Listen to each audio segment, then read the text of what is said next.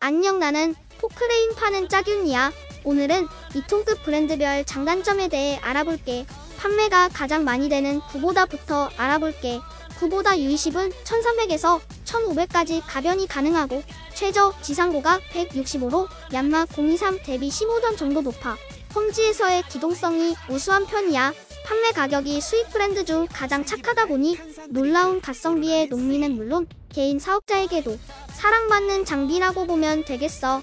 다음은 얀마와 코벨코 020급은 동일한 장비로 18년도까지 구보다에게 2톤급 시장을 뺏기고 고개 숙인 남편 마냥 존재감 없는 신세로 잠시 단종되었다가 19년도 각성에 023급으로 야심찬 복귀를 선언해 전폭 1380에서 1550까지 가변 기능이 탑재되었으나 최저 지상고가 150으로 약간의 험지만 가도 바닥이 닿아 기동성이 대폭 감소되는 현상이 발생해 불편하다는 곡성이 터지고 있어.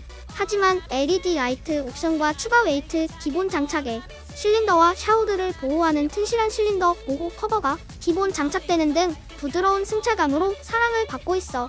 023보다는 020이 더욱 판매가 많이 되는 상황이야. 실제로 짜균이는 023 팔고 6천 넘는 경우가 많았어서 020을 추천해. 마지막으로 히타치 020 장비 성능, 가격, AS에 메리트가 없는 장비야. 그러니 히타치 020은 쳐다도 보지 않기를 당부해.